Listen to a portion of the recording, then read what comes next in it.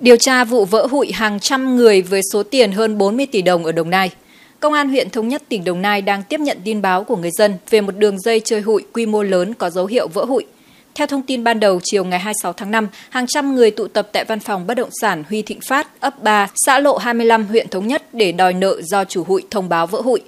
Qua xác minh, công an xác định hai người cầm đầu đường dây hụi là NTTH 34 tuổi, ngụ ấp 3, xã Lộ 25 và chồng là TQH 36 tuổi, ngụ khu phố Bảo Vinh A, thành phố Long Khánh.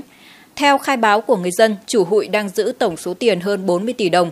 Người cho vay nhiều nhất là 4 tỷ đồng, ít nhất 10 triệu đồng. Đường dây hụi có hàng trăm người tham gia, được tổ chức hoạt động khoảng 3 năm trở lại đây. Hiện lực lượng công an đang tiếp tục nhận thông tin khai báo của người dân và tiến hành điều tra làm rõ.